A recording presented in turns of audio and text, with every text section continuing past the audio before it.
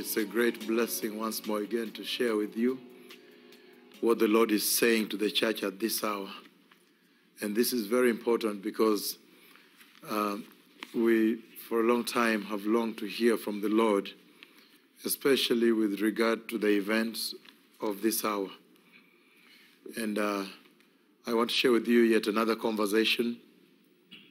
The precious people of Finland.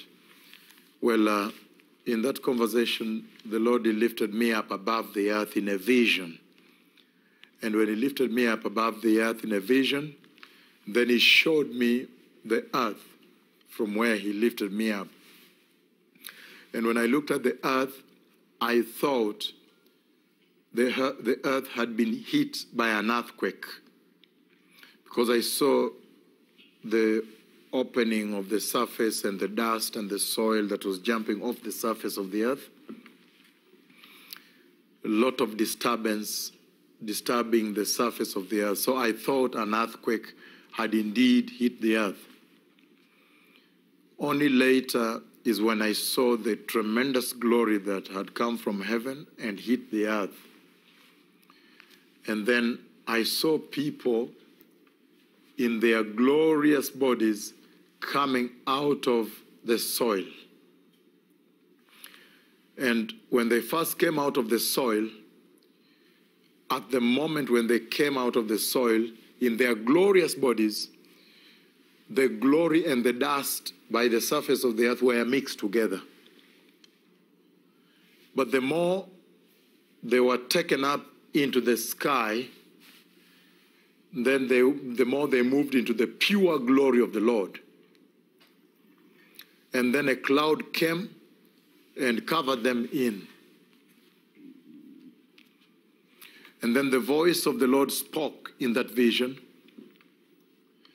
And the voice said, And the majority of them have remained in the dust of the earth. And then I woke up. That is the conversation I want to share with you today. What is the message that the Lord is speaking to the nation of Finland through that very mighty historic vision when he lifted me up above the earth, showed me the earth, thought it was an earthquake, only to turn out to be people in their glorious bodies being pulled out of the dust, the soil, into heaven.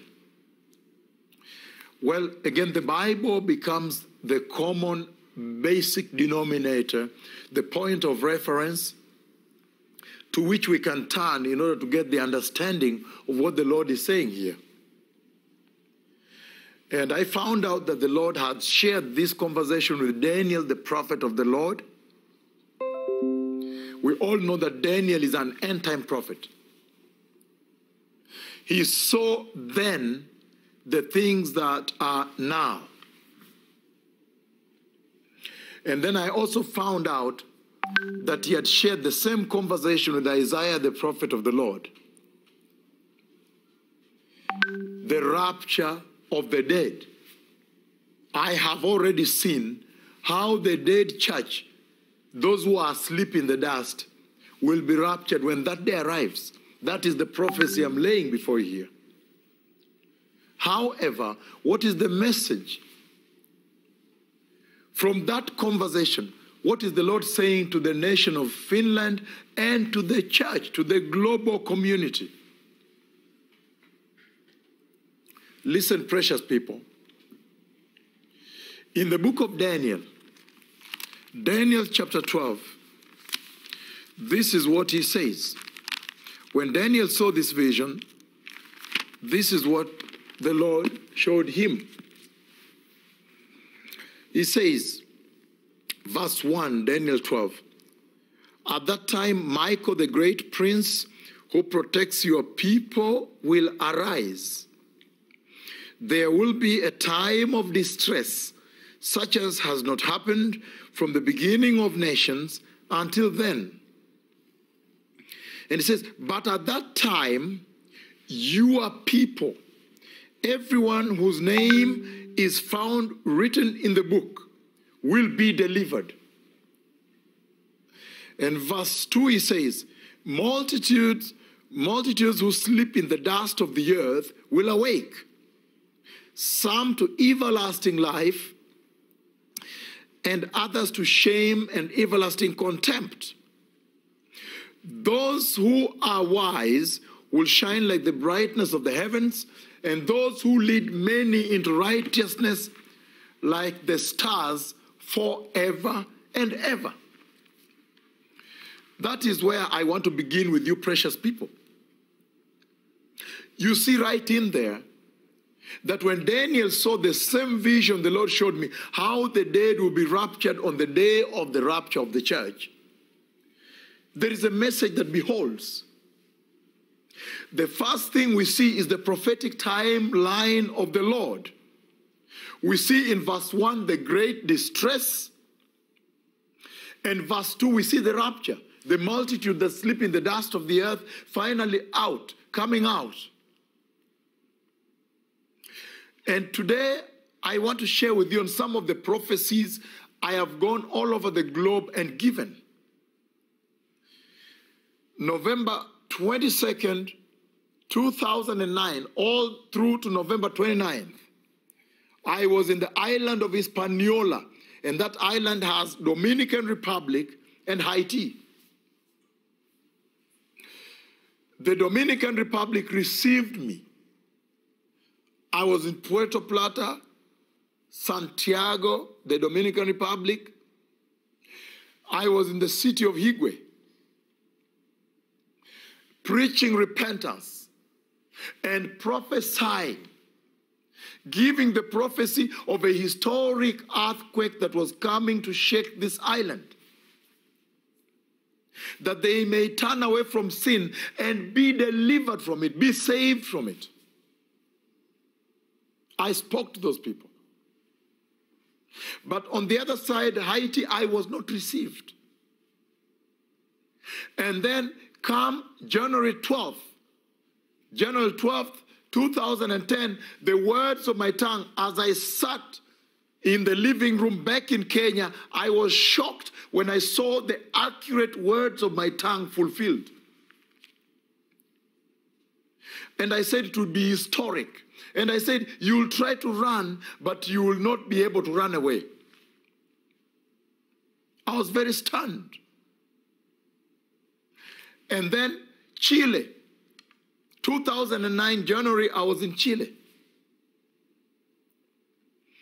All the way giving the prophecy. And I told them in Chile that I see the ocean vomit. I see an earthquake and the ocean vomit on the land. And I went all the way to Concepcion, which was later to turn out to be the epicenter of the earthquake I was talking about. I was in TVN, Televisión Nacional de Chile, a global TV. And I was in the program called Puertas Abiertas, Open Doors, warning about this prophecy. Until February 20, uh, uh, uh, 3.34 p.m., February 22nd, 27th, February 27th, 2010. My words were fulfilled. And many other prophecies.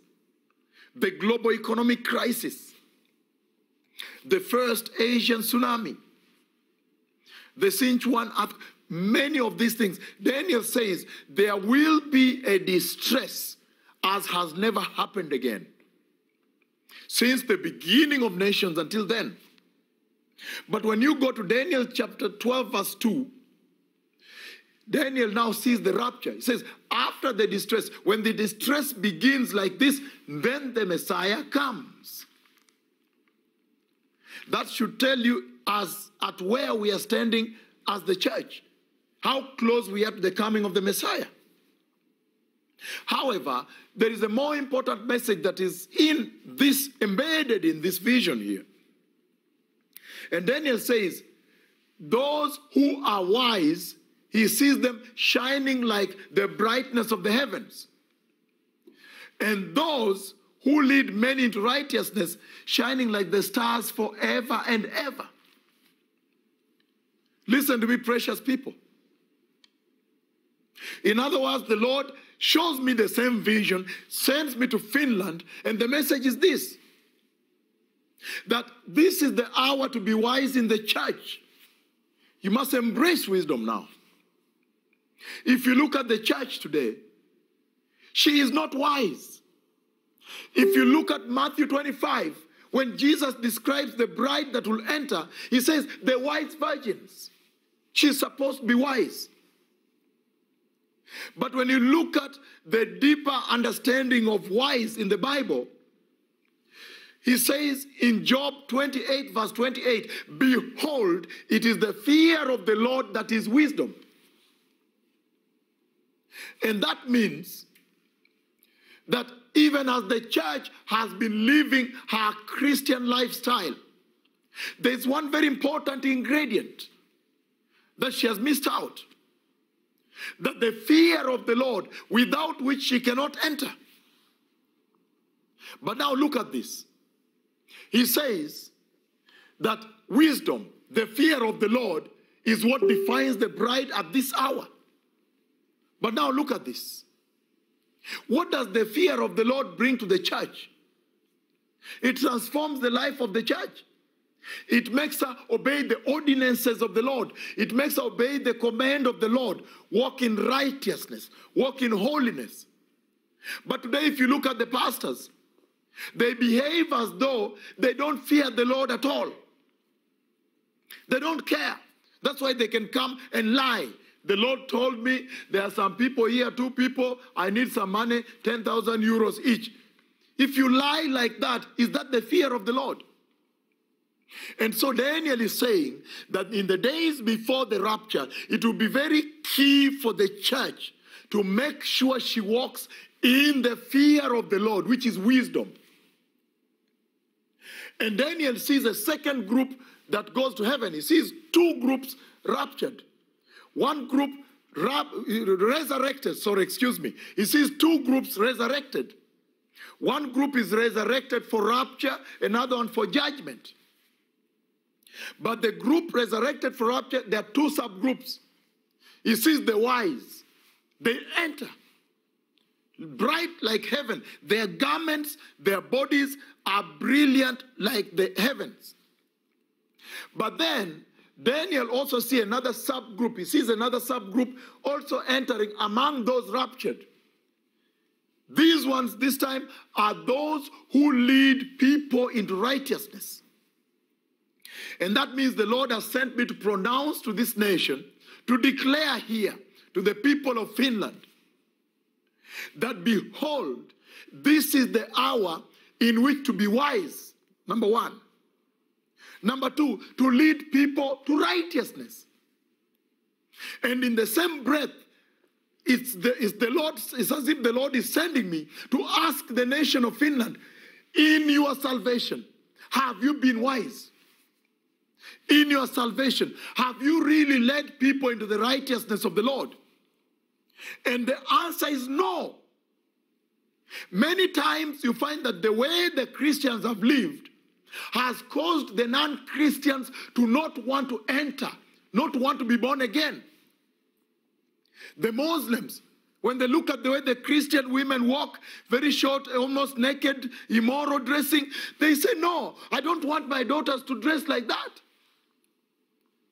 The church has not actually led, has actually not led people to righteousness of the Lord. She has led them away from Jesus. Now, Isaiah saw the same dream in Isaiah 26. And in Isaiah 26, when he saw the same dream, this is what Isaiah says. He described the morning dew. Isaiah 26, and he says, he says, but your dead will live, their bodies will rise. You who dwell in the earth, wake up and shout for joy. Your dew is like the dew of the morning. The earth will give birth to a slain. And he says, Go, my people, enter your rooms, shut the doors behind you, hide yourselves for a little while. until his wrath has passed by. See, the Lord is coming out of his dwelling to punish the peoples of the earth for their sins. The earth will disclose the bloodshed upon her. She will conceal her slain no longer. What is the message that Isaiah gives the church, brings to the church when he sees the same vision of the rapture of the dead? Number one, Isaiah sees the morning dew, which is the anointing, the flow of this hour, the mighty visitation of this moment. Isaiah calls it the morning dew. And you know, Isaiah says, shout for joy, meaning the morning dew was so fresh that they had to shout and celebrate it. Shout for joy. And that can only tell you there was a long period of thirst. The church was thirsty, they were longing for it. And Isaiah then says, it makes the church joyous, which means it exalts the church. When the Holy Spirit comes at this hour, elevates the church, upgrades the church, validates the church, establishes the credentials of the church.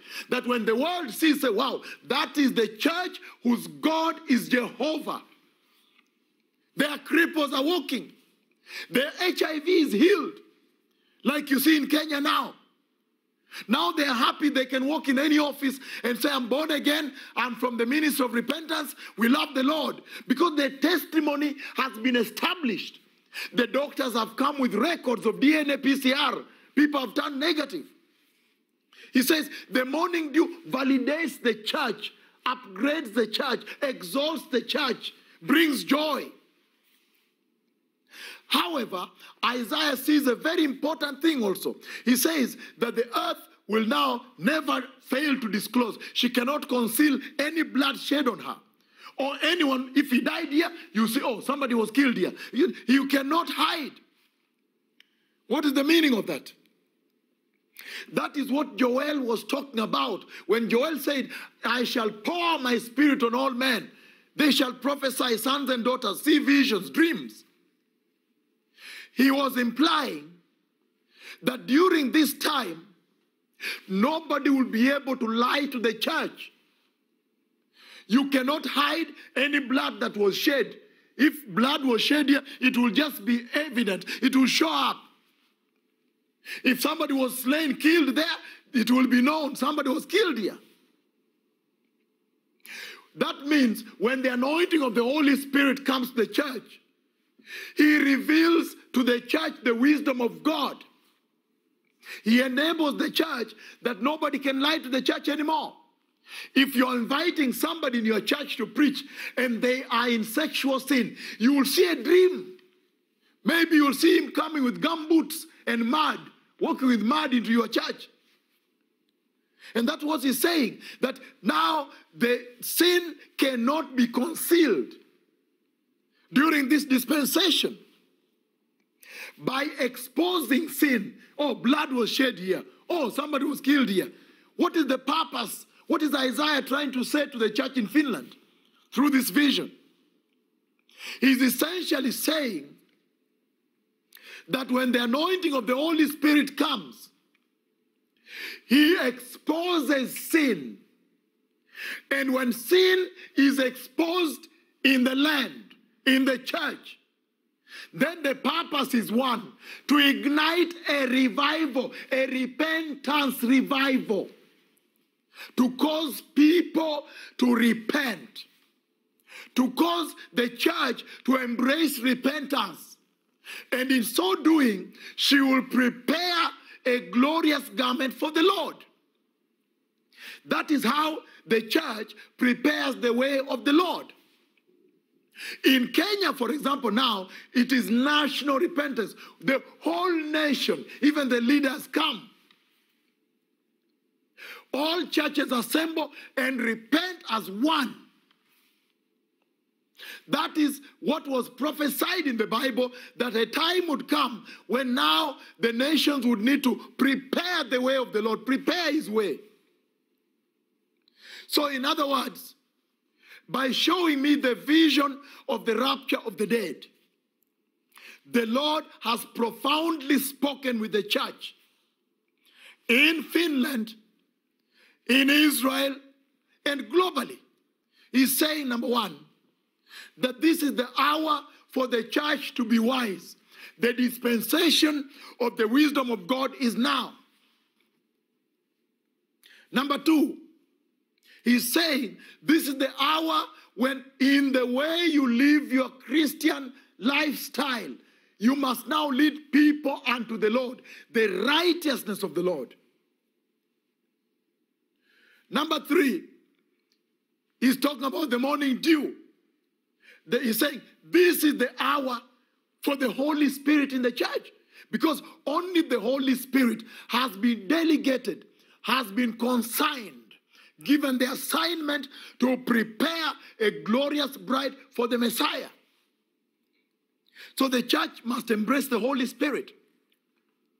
But he's also saying that in these last days, time out with the false prophets, time out with the false apostles, time out with falsehood, lies, because it will be exposed. So, in this conversation, we see that the Lord is announcing the coming of the Messiah. He's saying, Hey, look, the Messiah is coming, prepare the way. And he's saying that this becomes the blessed generation, the generation of revival, the generation of repentance, the generation of the Holy Spirit, the generation which is the vessel. Look at the church today. Do you see that generation? There is a problem. If the Messiah is holy, if the Messiah is indeed the righteous man, the spirit filled man. How then will the church, in her current form, with decay, the gospel of, of decay, apostasy, sexual sin, immoral dressing among women, immoral behavior among the youth in the church, pregnancies in the youth church, abortions in the church, extramarital pregnancies in the church. Christians are smoking and drinking alcohol. Christians are going to the secular movies they are watching a man in Hollywood who is cheating on his wife with his secretary. That is the role model of the church today. Witchcraft. So tell me, the gospel of prosperity, which is the gospel that says you can bribe God and get away with righteousness. How can you preach such a gospel of corruption? With all these things I've described, how can the church enter the holy, imperishable kingdom of God? And that's why the Lord is now announcing to the church that prepare, prepare your garment. The time has come when the anointing of God is now exposing sin as sin. Calling sin, sin. How will they repent if they don't know what is sin? And that's why you see the Lord leading me to enumerate the tight trousers in the church, short miniskirts in the church. The young men are putting on earrings, they are piercing their noses, Sometimes, if you go to San Francisco, other cities, Chicago, those there are other people that are with a certain sexuality that wear that. How can the church be in the same countenance, the same appearance, same character, same features as the dark world? The church must repent. The church must turn away from sin. If you feel this message has touched you and you think this is the moment to cross over, then repeat this prayer. Say, Precious Jesus, I recognize your work at Calvary. And indeed, I honor you and thank you for redeeming me at the cross. And today I surrender my life to you and receive you wholeheartedly as my Lord and my Savior. Please redeem me, deliver me, and establish my name in the book of life of the Lamb of God. And bless me with the Holy Spirit. Precious Jesus, at this moment, I cross over from death and sin to eternal life. In the mighty name of Jesus, today I am born again. Precious people, attend, look for, go to a Bible teaching church, not a church where the pastor is a comedian, is making people laugh. What is there to laugh about Jesus on the cross? May the Lord bless you. Shalom, shalom, shalom, Haverim.